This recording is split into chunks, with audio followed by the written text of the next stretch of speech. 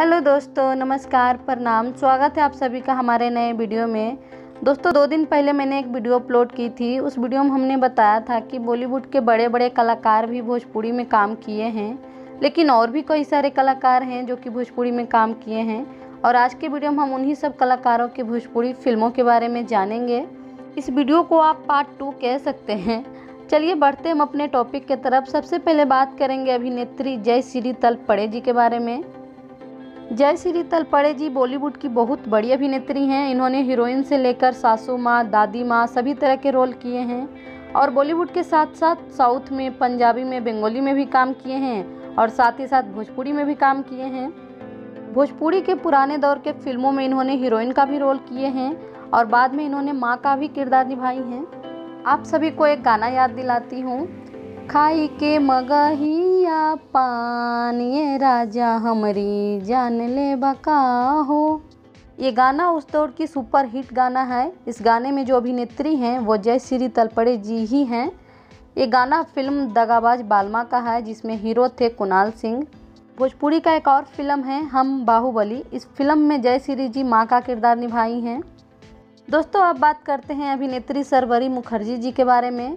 सरवरी मुखर्जी जी को आप बॉलीवुड के बहुत सारे फ़िल्मों में देखे होंगे। और अगर नहीं तो ये गाना तो ज़रूर ही सुने होंगे। जो बीच बजरिया तूने मेरी पकड़ी पैया।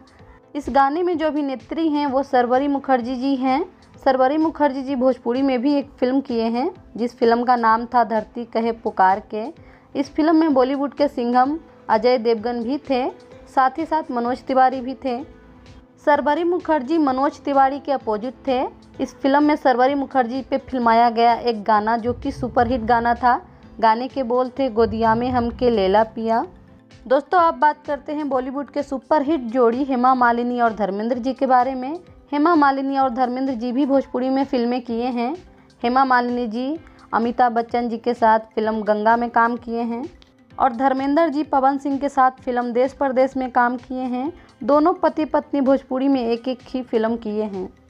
फ़िल्म तेरे नाम की हीरोइन भूमिका चावला भी भोजपुरी में फ़िल्म की है। फ़िल्म का नाम था गंगोत्री गंगा टू, जो कि गंगा फ़िल्म का पार्ट टू था। इस फ़िल्म में अमिताभ बच्चन जी के साथ मनोज तिवारी भी थे। भूमिका चावला जी साउथ की हीरोइन हैं।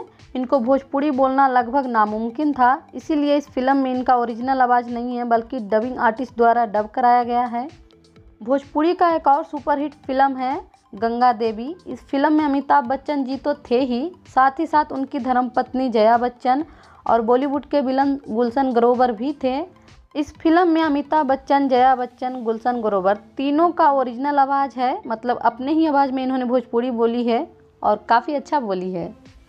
साथ ही साथ इस फ़िल्म में जुबली स्टार दिनेश लाल यादव निरहुआ और पाखी हेगड़े भी थे। ये फ़िल्म उस दौर की सुपरहिट फ़िल्म साबित हुई थी।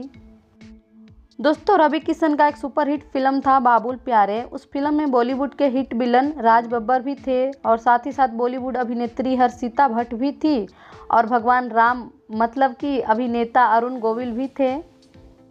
दोस्तों लास्ट में बात करते हैं अभिनेत्री दीपशिखा नागपाल के बारे में। इनको भी आप बॉलीवुड के बहुत सारे फ़िल्मों में देखे होंगे, जैसे कि रिश्ते, कोयला, बादशाह और भी कई सारी। इन्होंने भी भोजपुरी में एक फ़िल्म किए हैं। फ़िल्म का नाम था वो चुम्मा देदा राजा जी। इस फ़िल्म में भाग्यश्री रवि किशन और मनोज तिवारी भी थे। दोस्तों पार्ट वन वाला वीडियो का लिंक डिस्क्रिप्शन बॉक्स में है तो आप एक बार क्लिक करके देखिए। उस वीडियो में भी हमने बहुत अच्छी जानकारी दिए हैं।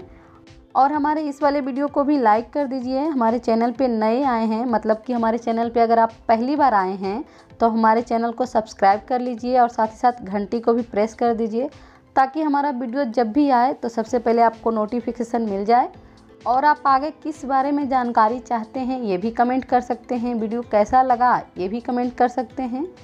Thank you for watching bye bye take care और हमारा वीडियो देखने वाले को सभी को नए साल की ढेरों सारी शुभकामनाएँ। नया साल आपके जीवन में नए नए खुशियाँ लेके आए। Happy new year